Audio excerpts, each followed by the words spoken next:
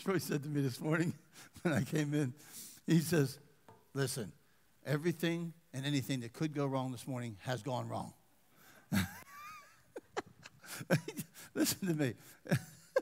Aren't you glad that God's anointing, God's presence, has nothing to do with technology? Okay? So when there's glitches in technology, know what you do? You chuckle and you say, wow, that was funny. Okay, let's move on. But we have had just about anything and everything that could go wrong this morning, and some days are like that, and um, there's no rhyme or reason for it. It just happens. So, anyhow, all right, grab your Bible.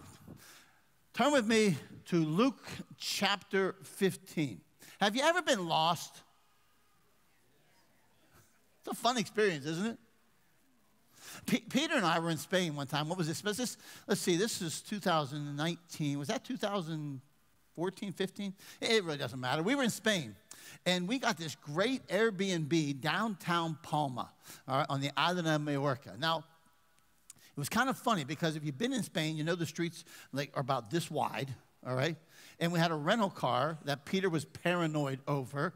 Like literally, like you should saw all the more room we had to drive in some places because we didn't want to get a scratch on it and everything. And, and so, but we had to kind of drive to get back into where our apartment was, it was like surrounded by one way streets and there were squares and just all this stuff. It was, it was really interesting for us to find every time we would try that.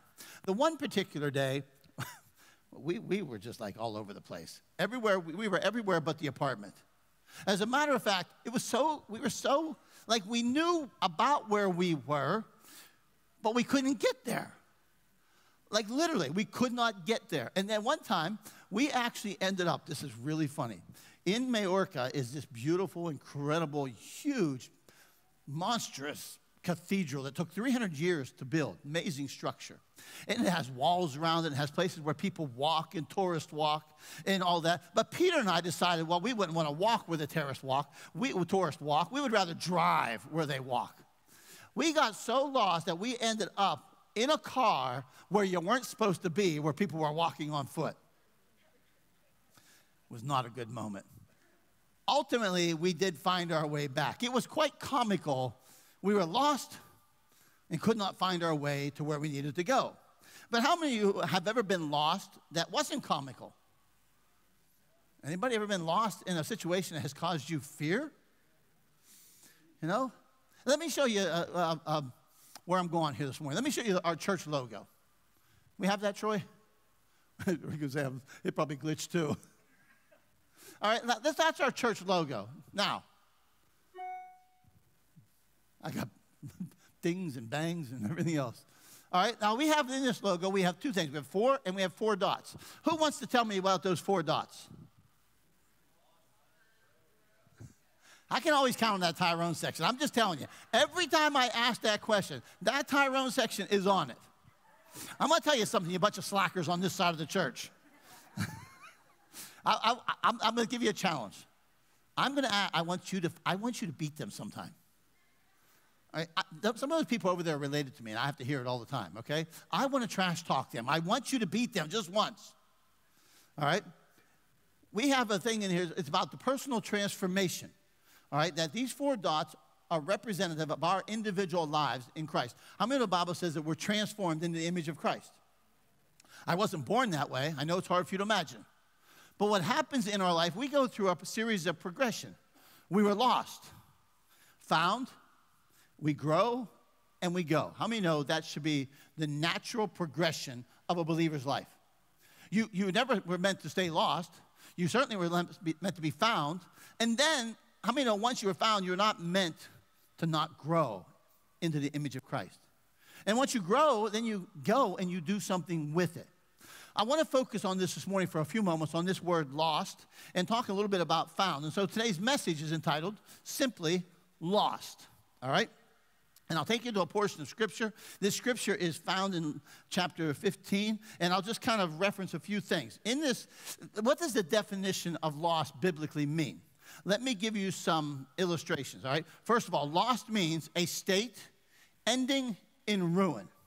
How many of you ever lost something tangible that you lost it to ruin. That it was just, it was just ruined, right? How many of you uh, have you ever heard somebody say, I lost a home in a hurricane? What does it mean you lost it? It means you lost it to ruin. Peter pastored in Florida. Which hurricane was it? Charley. Hurricane Charley did considerable damage to their church down there. And then he went to the state of Indiana, pastored, and a tornado destroyed the church he was at there. Then he went to Columbia a few weeks ago, and they had two earthquakes while he was there. How many know you don't want Peter coming to where you are? okay, there's a theme going on here. All right, now, oh, also it means a state of uselessness or a state of misery, I could even say. All right, now let's take a look at this. In this chapter 15, there are three illustrations that Jesus uses about lost objects, lost people, lost animal. All right, one is a sheep, one is a coin, and one is a lost son. He did this because the Pharisees were not happy with him eating with and hanging out with sinners, tax collectors, prostitutes, because I mean, no, they were too religious to hang out with those types of people. How many know there are no those types of people? Can I just remind us that? Somebody told me years ago that they didn't think they had to come into the church and sit by those people. Well, I'm glad those people no longer have to sit by those people.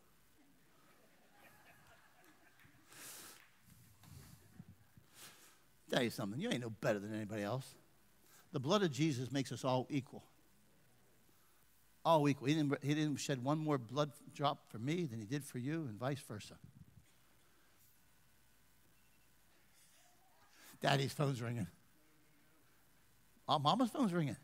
Man, you see how fast he threw her under the bus? That's just like boom. like boom.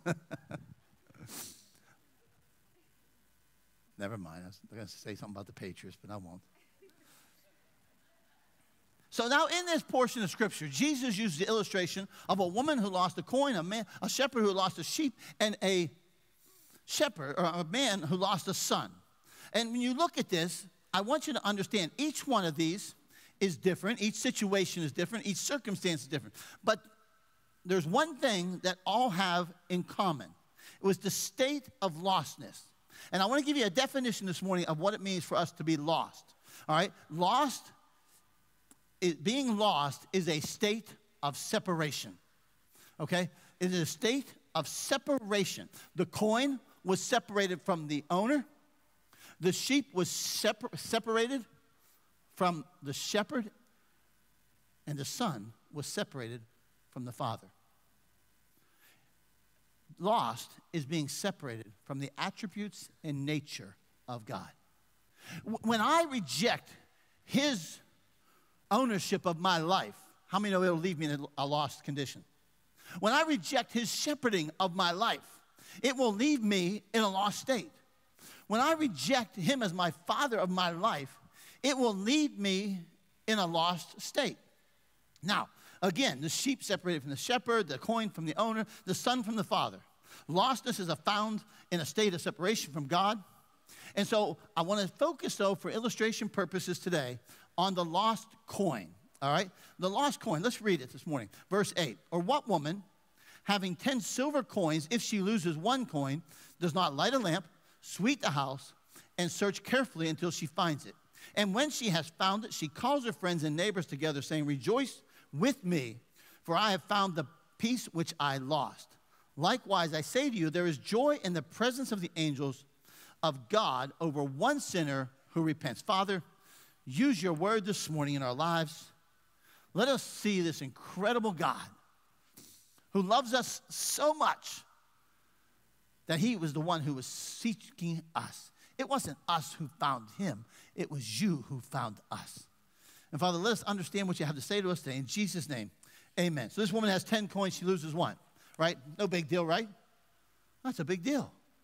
I won't even get into all that this morning. But I want to talk to you for a few moments about this. Let's talk about the separation for a moment. That this coin was lost because it was separated from the owner. Now, let me ask you a question.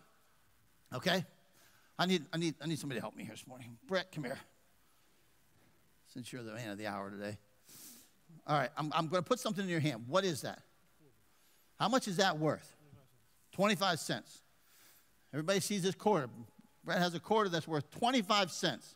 Okay, got it?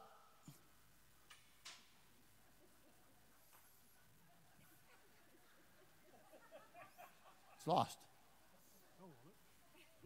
What's it worth now? No, it's still worth 25 cents. Somebody else can have it. Somebody else can have it. Yeah, you ain't going to go get it, are you? You ain't searching for it, are you? You're not like the woman, are you? But the fact of the matter is, listen to me, I put it in his hand, it was worth 25 cents. It's hidden, it's lost. It's still worth 25 cents. So, what's my point? My point is this understand something this morning. This coin that she lost, it was worth the same in her hand as it was when it was not in her hand. What's the point? Lost or found does not change the value of the coin. All right, lost or found does not change the value of the coin. Listen to me this morning. The principle I'm going to share with you now is lost or found does not change the value of the coin, but it does still the purpose of the coin. Let me go here this morning. Listen to me for a moment. Whether you know him or whether you don't know him, whether you're born again or not born again, your value to God and your worth to God does not change whether you're in a lost state or a found state. Your value is the same. Your value is exactly the same saved or unsaved. Listen to me, because the Bible clearly tells me something. For God so loved the world that he gave his only begotten Son, that whoever shall believe in him will not perish but have everlasting life. Now, listen to me for a moment. It does not say, for God so loved Christians, for God so loved believers. It says, for God so loved the world. How many of you are part of the world? Your value to him never changed from being saved. I was just as valuable to God, unsaved, as I was saved. I was just as valuable in his eyes. Right? But look at this. But lost or found doesn't change the value of the coin, but it does steal the purpose of the coin. All right, think about this for a moment. The coin was worth the same no matter where it was. The value was the same in the master's hand or out of the master's hand purpose could not be found in a lost state, right? I got another quarter. And the only way that this quarter can fulfill the purpose for which it was given to me is if I keep possession of it and use it. The only way that you can ever achieve the purpose of God has for you in your life is to be in His hand. You see, a lot of people they want to serve their own purposes. A lot of people want to be about their own purposes, live their own life.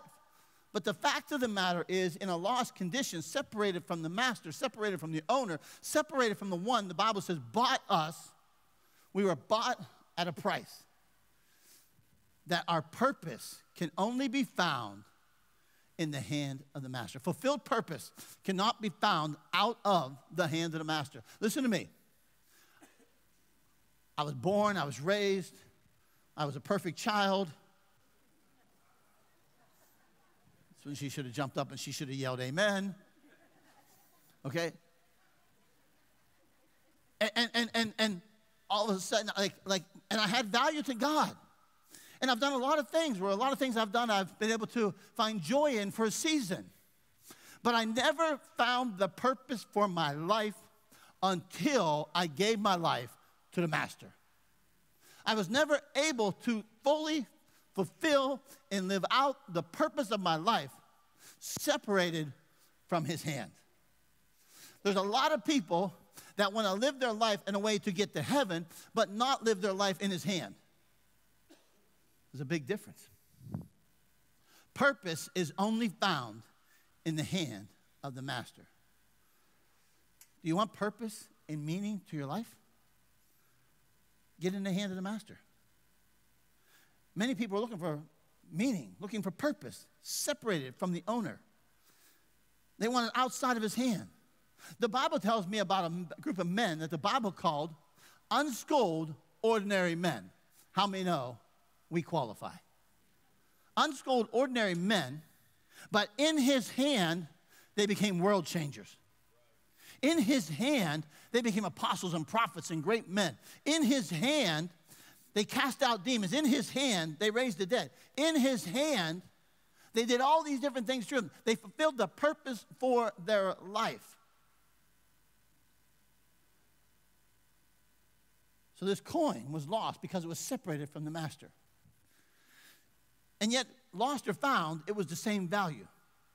But lost or found that had the same value when it was in a lost state, it could not fulfill the purpose of the master. But let me say this to you. Here's one. But the lost coin was lost in the house because it wasn't in the hand. And what am I saying? The Lord showed me this early this morning that many people are lost in the house because they aren't in the hand of the master. We're there, but we're not possessed. We're there, but we serve no purpose because we're not in his hand. We're there, we have value, but it's purposeless because we aren't in his possession. We're there, but not owned. We're in the church, but we're not possessed by God. We're in the house, but we're not in his hand. We're in the house, but we're not owned by him. We want enough to get to heaven, but I don't want him to be the possessor of my life. We want enough that I can get through this life to get to eternal life, when actually the Bible says eternal life starts the moment I believe. And we want to be in the house, but not in the hand. And God's saying today, no, no, I don't want you just in the house. I want you in my hand. I want you in my hand because it's in my hand that you find your greatest purpose. It's in my hand that you find your greatest meaning. It's in my hand that I can do things with you that you never thought would ever happen in your life. Let me tell you something lost or found? Let me tell you something. Wait a minute. Let me, let me go here. Many believers today are living short of the purpose because they are in the house but not the hand. They're living far short of the purpose of God for their life because they're living in the house but they're not in the hand.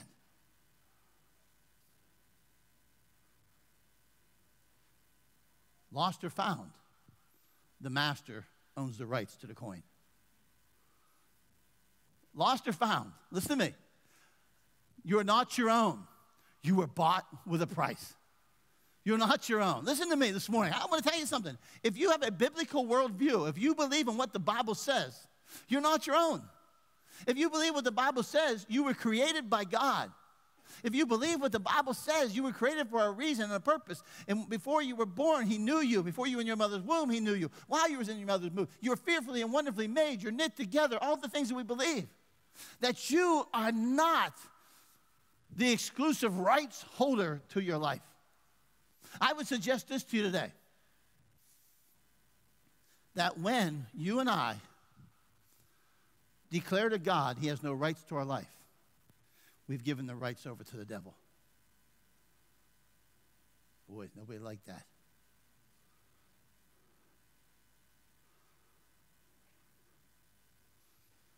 God had the right to tell Adam and Eve how to live in the garden. But when they took their rights upon themselves, how many know it gave rights over to the enemy?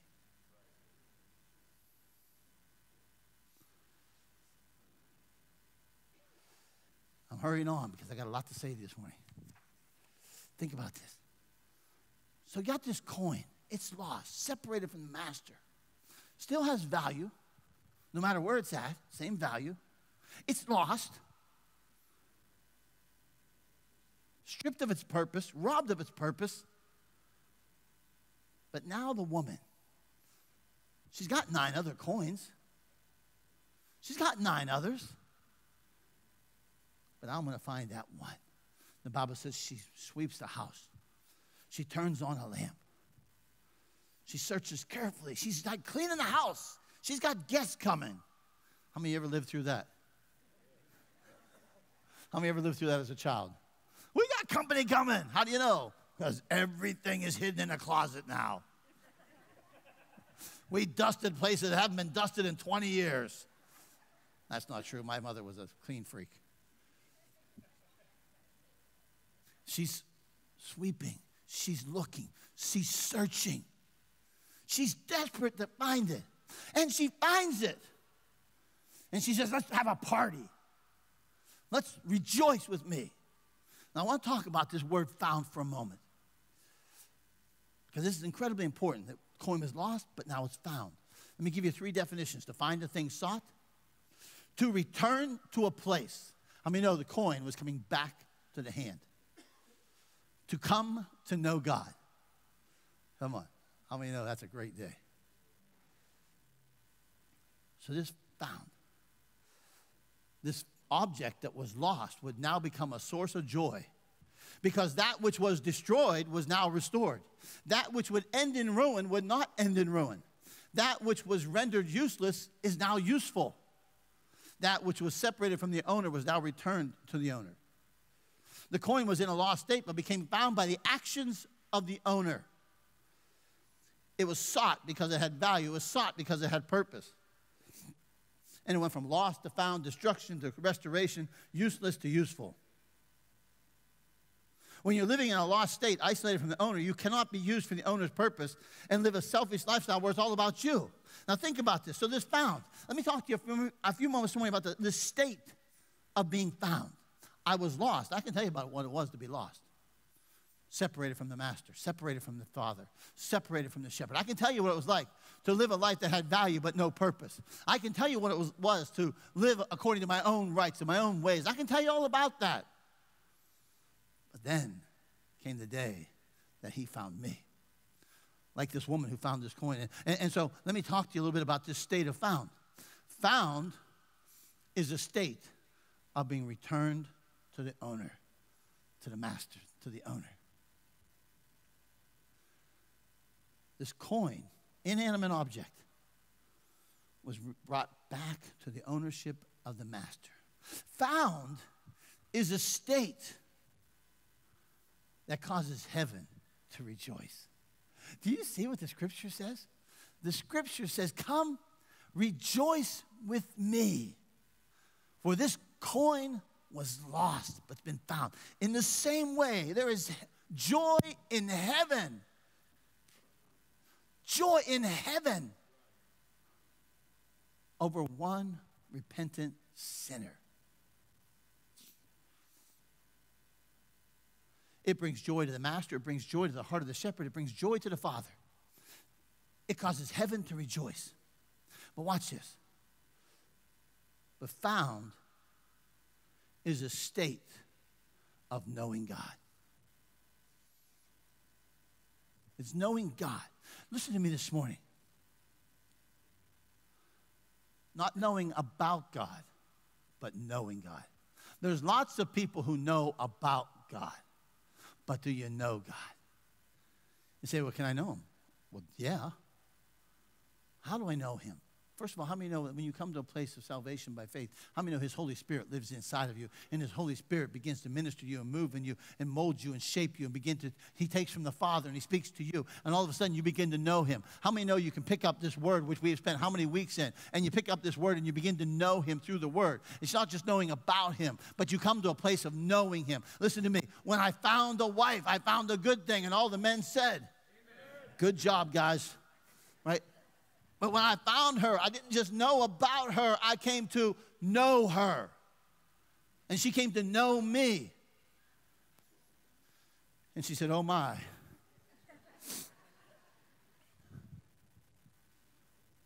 You see, this connotation of the word found is not just knowing about. I don't want to just know about my wife, I want to know my wife. When we were dating, I didn't want to just know about her, I wanted to know her.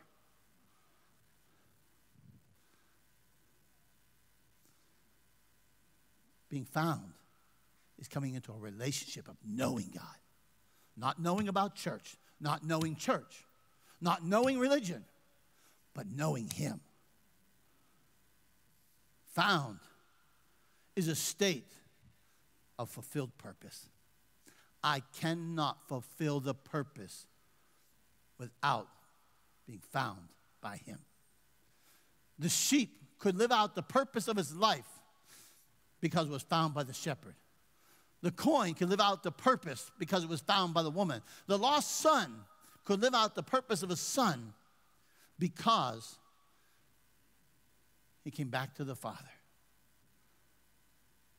Found is living in a state of sonship. The lost son comes back and becomes sons. Listen to me this morning. When you and I become saved, when you and I are born anew from above, the Bible says that we become sons of God. We're the sons of God. We're not just, we're not slaves, we're not servants, we're sons. Lost is living beneath the state of sonship. Now, let me talk to you for a few moments before I go on. It's funny. Most of the time, when Christians talk about the lost, we're talking about those who don't know Jesus as Lord and Savior. And that certainly is. But how many know that you can be saved and still live in a partial lost condition? That you can live well below your purpose. That you can live not as a son, that you can live far beneath what God has for you. That you can live. Listen to me. When the people of God came out of Egypt, his place for them was Canaan. They were no less sons in the wilderness than they were Canaan. But they, in Canaan, but in the wilderness, they were living far beneath what God had planned for them in Canaan. Many times we went, we, we just enough faith to get us out of Egypt, and I got it from here, Lord. I got it from here. That's never what He plans for you. Found isn't something that just gets us to heaven. Found is something that gives us purpose in life.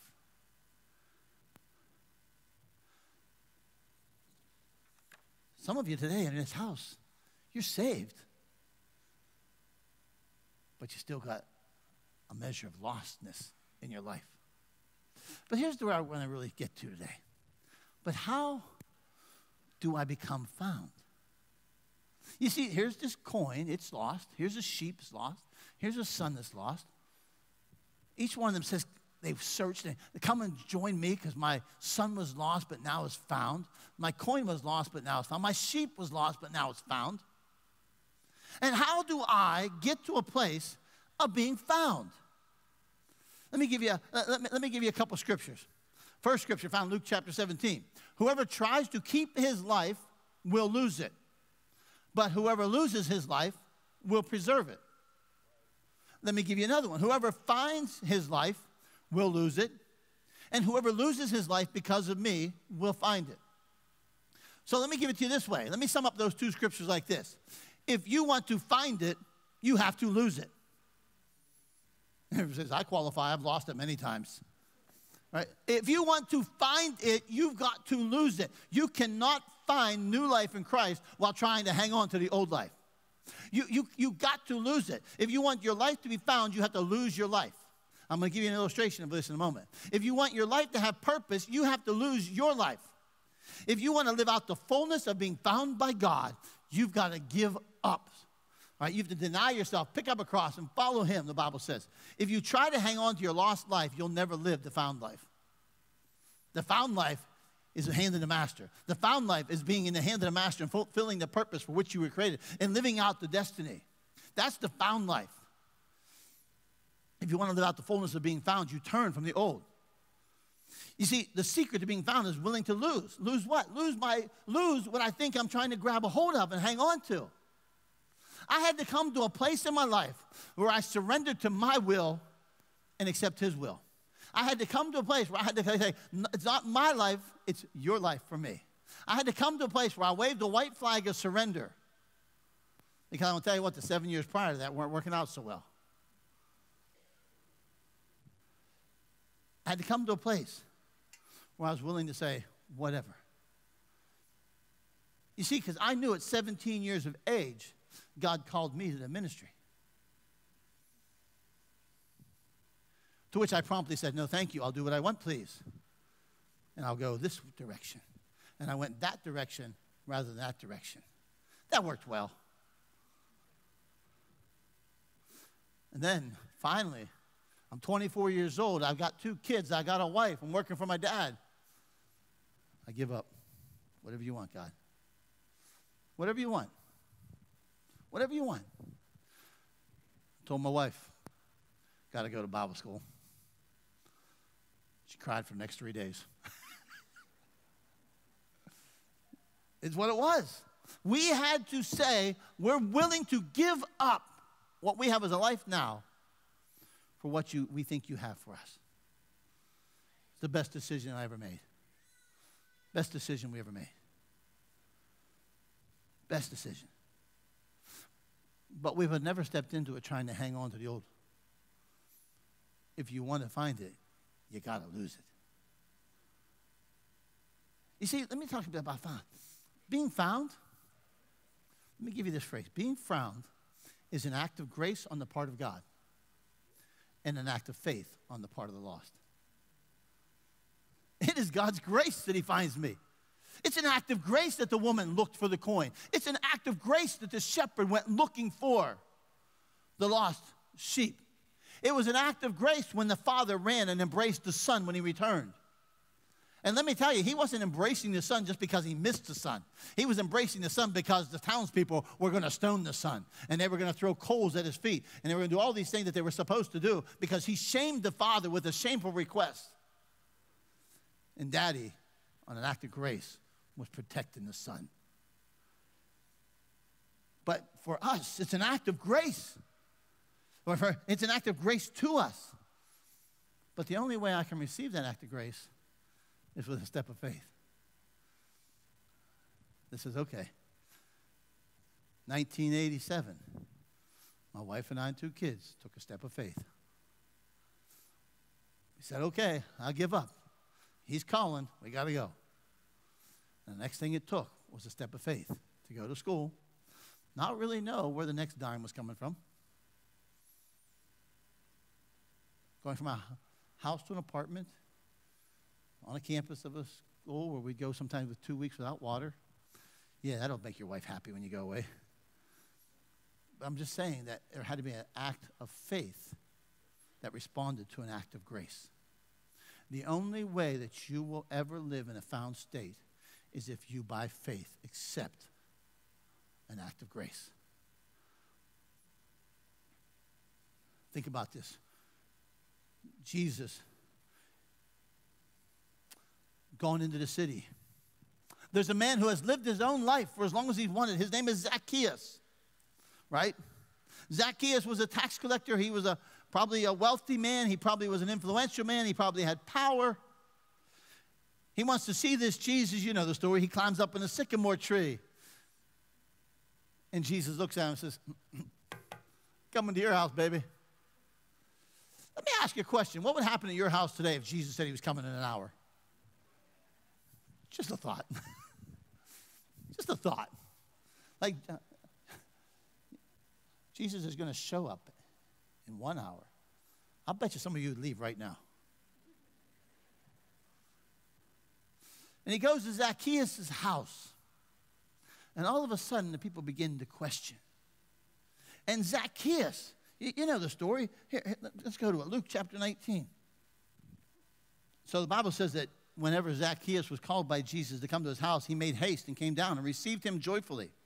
But when they saw it, they all complained, saying, He has gone to be the guest of a man who is a sinner. Then Zacchaeus stood and he said to the Lord, Look, Lord, I give half of my goods to the poor, and if I have taken anything from anyone by false accusation, I'm going to restore fourfold. I'm going to pay him back four times. All right? Jesus says today salvation has come to this house because he was also a son of Abraham. For the Son of Man has come to seek and to save that which was lost.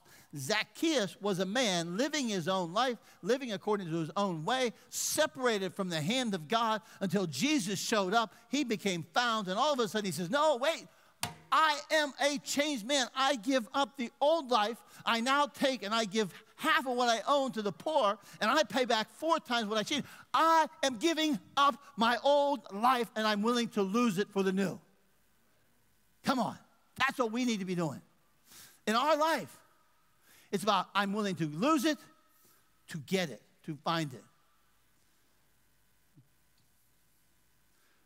Think about this. I'm talking about grace. Grace caused Jesus to come to Zacchaeus' house. Faith caused Zacchaeus to respond the way that he did. Grace caused the woman to search for the coin. Grace caused the shepherd to look for the sheep. Grace caused the father to welcome the son's return. Grace is a call to the lost that must be answered.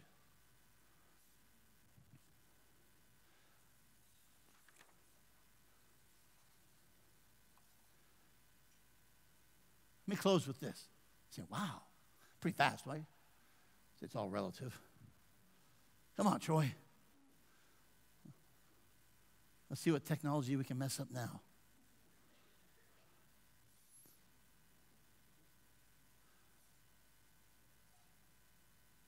Oh, man. Come this way. Come on. It's okay. It's okay. This is a legal way to come. Come on. Come on. We've messed up everything else today. Let's mess this up. All right? We're just going we're just going to switch it all up. Just jump on up.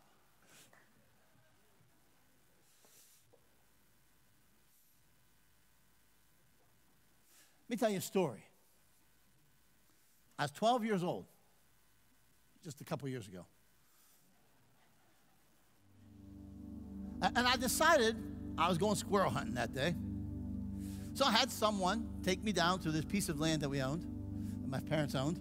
And it was connected to other pieces of land that other people owned. It was also connected to the state game lands. And, and so between the other property owners and between the state game lands and ours, it could be a large piece of property, a large piece of game lands and everything else. And I could literally go down there and spend all day from morning till dark and hunt my way home if I wanted to, which was several miles. And, and so I, I, went there this day. I was going to hunt squirrels. I was 12 years old, had somebody drop me off. This is back in the day where you're allowed to do that stuff. On this particular day, it was a little dark, it was a little drizzly. I hunted and I wandered around the woods, and it was becoming close to dark. When all of a sudden, I came to this realization I was lost. I couldn't find my way out. I, I couldn't find my way back to where I began. I kept going in circles. I kept seeing the same stuff over and over again. Like I saw that fence post before. I kept seeing the same things over and over, but never getting out. The more I wandered, the faster I went. That's how we know when you're lost. If you go fast, it's better. It's like whenever it's, it's like whenever you're in a foreign country and they can't understand your language, you talk louder. Like that's gonna help. The faster I went, the more I got worried because time was ticking and dark was coming. And I know the monsters that lived in that woods at dark. They were different than the ones in the daytime. For a 12 year old boy, that fear was palatable. I might even become a bit frantic knowing that I was going to be lost forever in the jungles of Dysart.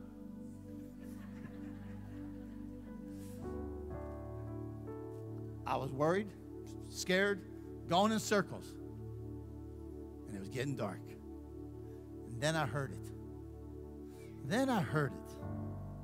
A sound like no other at that moment. A voice calling in the darkness. A voice calling to me in my lostness. A voice that called my name. Haha, I knew that voice. That was the voice of my mother. Boy didn't show up. Mama came looking. She came for me. She called for me. I now knew I might still be lost, but I am found. I might be lost, but there's a way out. I might be lost, but there'd be a path back to the beginning. All I had to do was follow that voice. And I remember I yelled to her, Keep yelling, I'll find you. True story. You have to understand, I was, a, I, I just, I just, I love to wander. I, I, go to foreign countries and go wandering. How about it, Peter? We go like wandering down the streets. I'll tell you another story about getting lost in the Potter County one time. Yeah, that was a fun one. I got lost a lot when I was a kid. Boy, I know my way around those woods now. All I had to do was follow that voice. I yelled, Keep yelling. I'll find you. I'll follow that voice. I'll come to you. The voice became the focus of my journey. The voice became a GPS by which I would set my course. That voice became the sound that would set the lost free. That, that voice would be the sound that would call me home. And today, the voice is calling. Stop wondering. Stop wandering. Stop wandering. Stop living lost. Stop living without purpose. Stop living without meaning. Stop living with an end that has a ruin. Stop living to destruction. Stop living to yourself and live to Him. Today, in this house, are people who are lost. And for some of you, You don't know who Jesus is. He's been searching, he's been knocking, he's been knocking at the door. Say, come on, man, just trust me. Come on. Come on. Some are lost because you're separated from God, separated from his hand, separated. You're separated from the master, you're separated from the shepherd, you're separated from the father. You're lost. Life seems to have no purpose. Life has, or life has limited purpose and meaning. You're lost. Life has no joy. I told you, I've told you for five and a half years, and I will tell you for the next five and a half years. Every day I have sadness over losing my son, and every day I have the joy of the Lord that's my strength. It's not, it's not that the joy the joy of the Lord is not the absence of pain. The joy of the Lord is not the absence of sorrow. The joy of the Lord is there in spite of the sorrow. And the Bible says it becomes my strength. Without me giving my heart to Him, I would never know what that is. Without me giving my life to Him, I would never know what that is. I'd be living in a lost condition, not knowing what to do with that pain, not knowing what to do with it.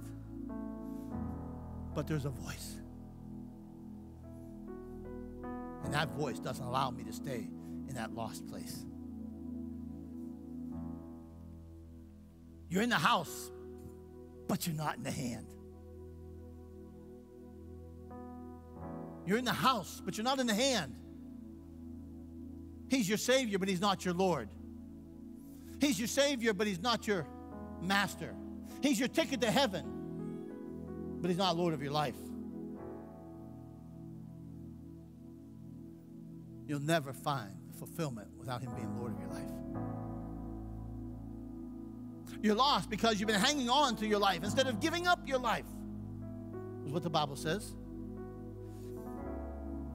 Hmm. Even this morning, I was writing this. God said, You're watching it live right now. You're watching live right now. At this moment, and God says, Give up your life and you'll find life. Give it up and you'll find it. You're watching at this moment, you've been searching for purpose, but purpose has literally been searching for you in the name of Jesus. You're watching live at the moment, you've been searching for meaning, but meaning has been searching for you. Outside of Him, you cannot find true purpose and true meaning.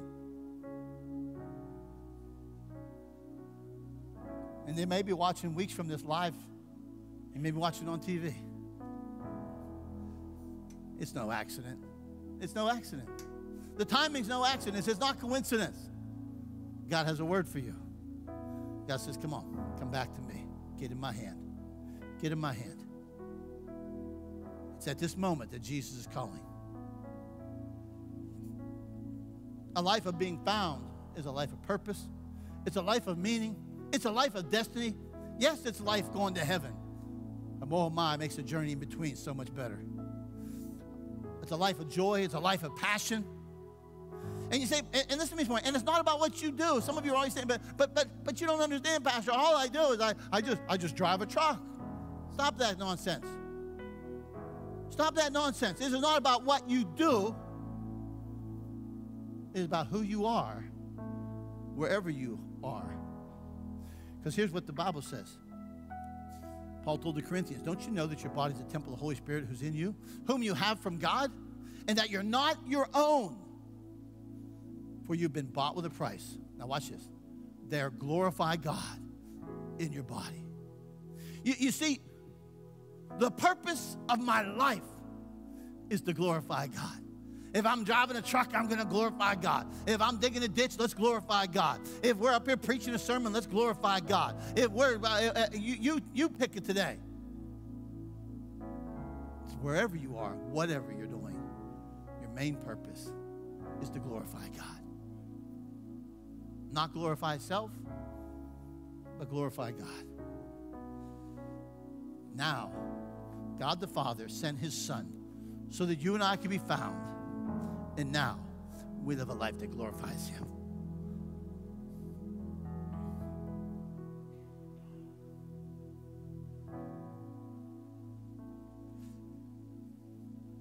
Hasn't separation from him been long enough? Now, instantly, I'm telling you, instantly, The believers are putting up a wall. Oh no, I'm not lost. I'm found. I believe in Jesus. I'm going to heaven. Praise God. I want you to live a fulfilled purpose now. Now. Salvation, the true meaning of salvation was never just about getting to heaven, it was about the totality of your life now. And I say today, today is the day for this house to say, I will no longer be lost in the house because I want to be in the hand. I say today is the day in this house that you say, I give up my life for his life. I don't want to live in a lost condition. I don't want to live in a partially lost condition. I don't want to live in a partially found condition. I want to be found and live in the fullness of what it is to be found. Today is that day. Today. And it's an act of grace upon the heart of God, the part of God, and it is an act of faith on your part.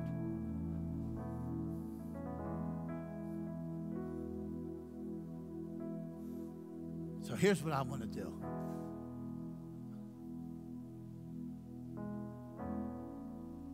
I want you to stand with me. We're going to sing a song. You know this song, you know it well. Amazing grace, how sweet the sound that saved a wretch like me. I once was lost, but now I'm found. I don't want everybody moving around. Your singers got to go where they got to go. I know that. But would you honor me for a few moments? Would you honor the Lord this morning? Would you make this a sacred moment? Would you make this a holy moment? This is not a time to beat people to the bread table. This is not a time to beat people out the door. This is a time to say, let me take some introspection. Let me take some inspection of my life. Let me take an evaluation of where I am. Let me today say, I want to be found. I want to live out the fullness of that. That I'm going to give up my old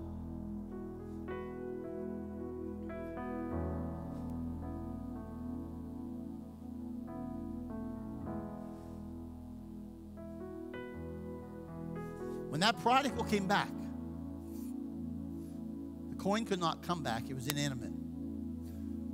The sheep, they say, are dumb animals, couldn't find its way back, it was vulnerable to death by a predator.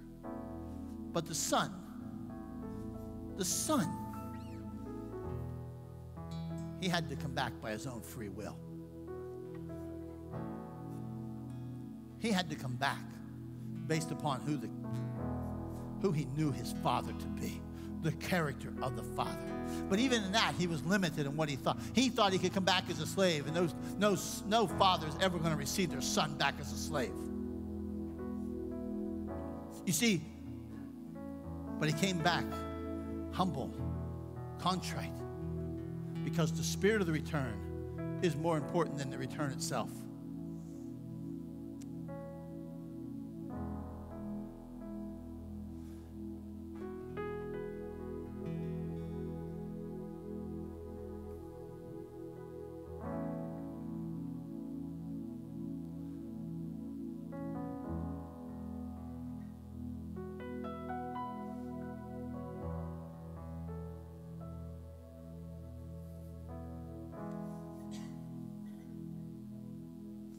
Haven't you wandered aimlessly long enough? Haven't you lived without full purpose long enough? Don't you want to know what it'd be like to live in the fullness of being found? I'd love to know the rest of the story of Zacchaeus. Some people say he became he, I forget where, but Peter might know, that some people believe that legend teaches that he actually became the first bishop some church somewhere. It's an amazing thing to think about a Tax collector to a leader of the church. How many say today, I want to be found? I want to live in the fullness of found.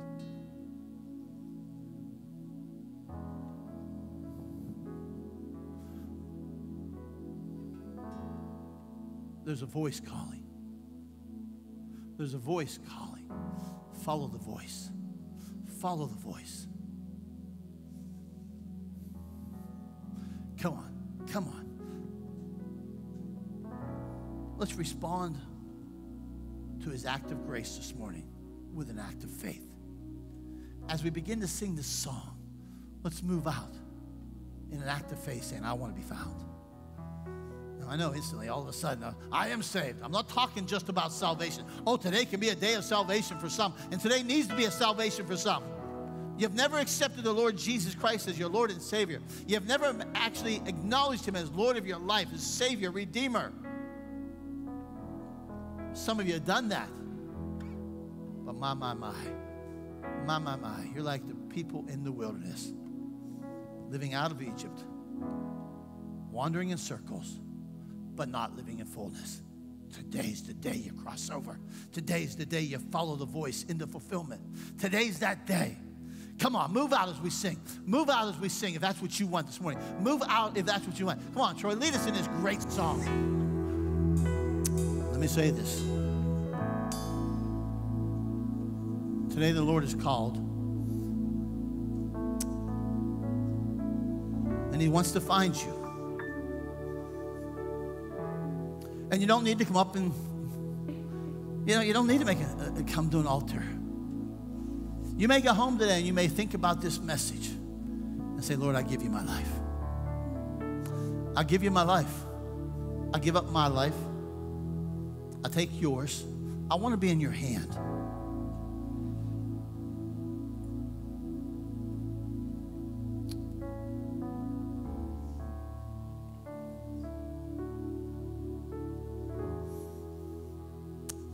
Let me close with this. I haven't done this for a while. And I can't pray for everybody today, and, but I can pray for everybody today. Uh, just, just, just take your hands and do this. Remember how we do this? Just hold your hands out and look at me. Yeah, this is not the time to close your eyes. Just look at me. Because this is that great verse I love to read from time to time. That is a great prayer. The Lord bless you and keep you. And the Lord make his face shine upon you and be gracious to you. And the Lord lift up his countenance upon you. And I'm going to say this prophetically today. For some of you, this is what's going to happen. And give you peace. And give you peace. Some of you haven't had peace in a long time. Your mind hasn't stopped. Your mind hasn't stopped running. You've been out in unrest. And I don't know why the Lord's speaking this to me right now. There's been an unrest. And you're getting weary. And God's, and I say to you today, and that He would give you peace. The Lord bless you and keep you, and make His face shine upon you, and be gracious to you. And the Lord lift His countenance upon you and give you peace. And God's people said, Amen. You don't have to sing something. God bless you. Have a great week. God loves you. Let him find you.